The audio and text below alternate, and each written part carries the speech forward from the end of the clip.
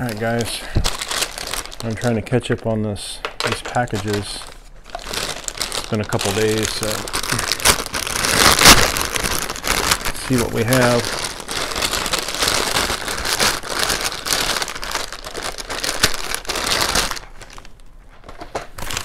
We do have a packing slip, so let's go ahead and read the packing slip.